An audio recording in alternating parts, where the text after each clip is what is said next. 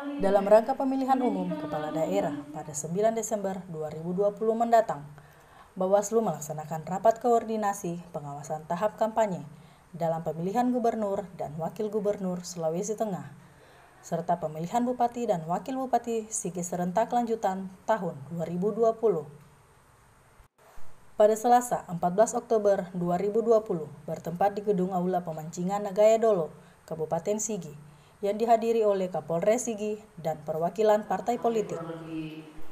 Pada kegiatan tersebut membahas tentang langkah pemerintah daerah dalam mewujudkan kampanye politik yang aman tanpa adanya pelanggaran sesuai peraturan? Dalam sambutan, Steny Marini Petalolo, selaku Ketua Bawaslu Sigi, menjelaskan tentang cakupan zona kampanye dalam metode kampanye serta undang-undang yang diberlakukan pasca kampanye. Mengingat kampanye kali ini berbeda dari tahun-tahun sebelumnya, sehingga menghadirkan aturan protokol kesehatan pasca kampanye.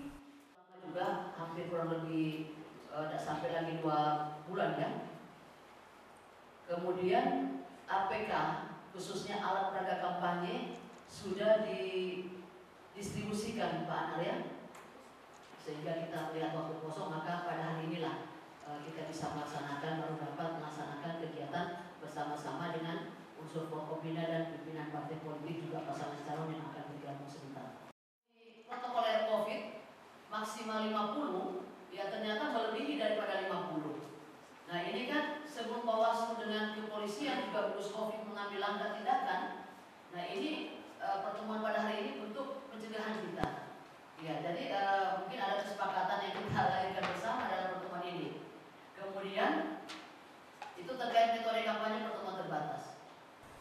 Selain itu, Kapolres Sigi mengatakan untuk selalu menaati protokol kesehatan sehingga tidak memunculkan klaster baru dalam masa pandemi COVID ini dikarenakan masih ada tim kampanye yang tidak mengindahkan peraturan yang sudah ditetapkan tersebut.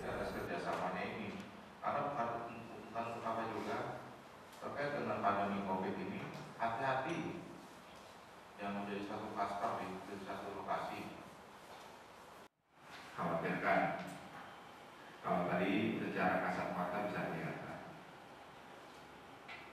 Kegiatan-kegiatan di masing-masing itu kawan acara kampanye tertutup bisa kelihatan kan? Semua bisa melihat tanpa perlu alat oleh karena itu Kapolres Sigi menghimbau dalam pelaksanaan untuk tetap saling menjaga agar tidak merugikan pihak lain. Dari Kabupaten Sigi, tim Sultan TV melaporkan.